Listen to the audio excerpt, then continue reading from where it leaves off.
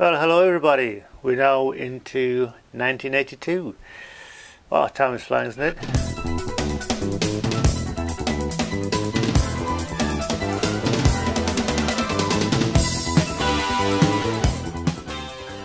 The Commodore 64, the 8-bit computer, was released in uh, that year. Something called syzygy happened that year. This is uh, when uh, all eight planets in the solar system were aligned to one side of the of the sun. Interesting thing.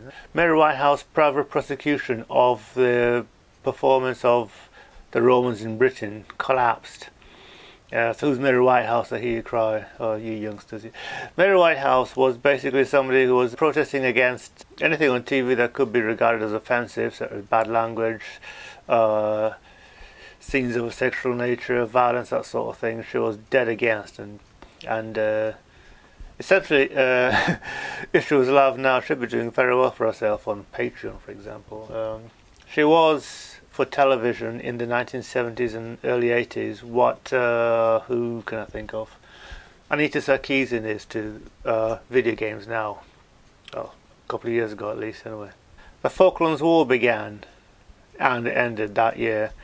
Gilles Villeneuve, the uh, Formula One racing driver, died during qualifying for the Belgian Grand Prix that year. Uh, the Belgian Grand Prix is also happening this weekend, so you know if you're a Formula One fan, I'm sure you'll be in front of your TV on Saturday and Sunday watching the race.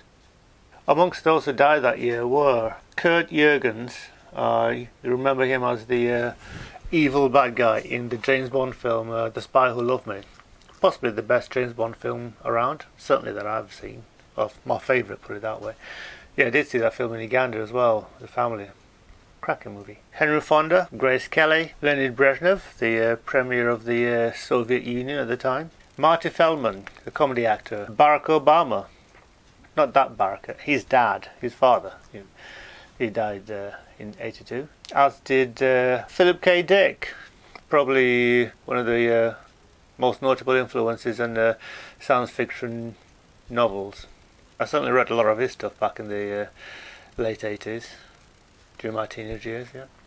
Born in 1982 were, amongst others, Eddie Redmayne, Natalie Dormer, Danica Patrick, one of the very few uh, professional female racing drivers out there, Thora Birch, Cobie Smulders, and Hayley Atwell, uh, fans of the Avengers will recognise them as uh, Agents Hill and uh, Adrian Carter, respectively. Kelly Clarkson, the uh, pop star. Jewel Staite, Prince William, and Catherine, his wife, Duchess of Cambridge. So both born that year. As was uh, Arthur Darvill. Matt Smith was also born that year. So Matt Smith, aka the Doctor, and uh, Arthur Darvill, his on-off friend slash companion's boyfriend.